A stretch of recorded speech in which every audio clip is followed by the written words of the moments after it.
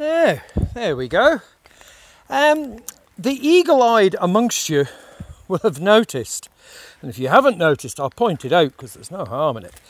If you look down there, you will see that originally I had thought I was going to fall that tree that way. But, oh, excuse me, horsefly.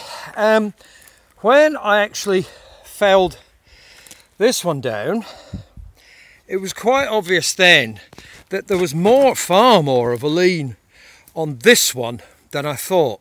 So I had the choice of fighting um, and trying to wedge it over. There's no breeze, it's very still. Um, if I had to, then well, then you would have done. But there's enough, uh, there's enough to do without struggling on every tree. So I decided there was a, a reasonably clear spot here. I nipped a couple of bits and pieces. And uh, like I say that was why that dead one there that was tied up in this as you can see it went over as one. That's why I had to recut that. Um, and I made sure that I was the, well away from it just in case anything dropped out there. Um, as you can see uh, again allowing the tree get the hinge. It's essential to have that hinge for safety and the initial control.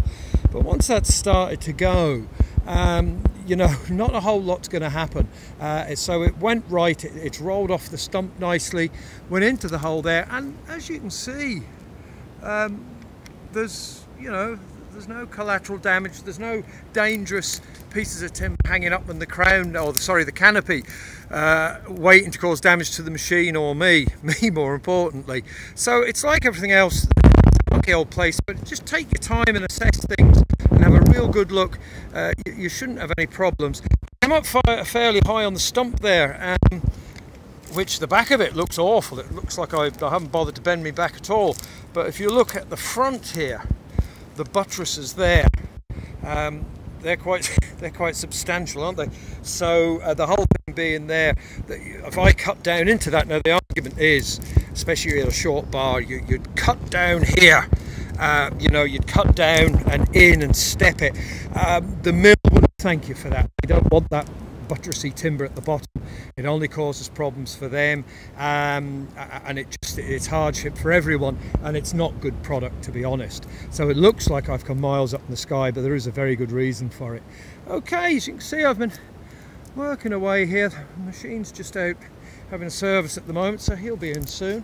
So I better get my skates on and uh, get this done. Uh, sorry if the sound is a bit off. I said I wasn't going to use the phone anymore, um, but I thought this was worth doing just for the sheer hell of it. So I apologise if there's any sound difference on this. Uh, bear with me, it, it won't happen again. Thanks now.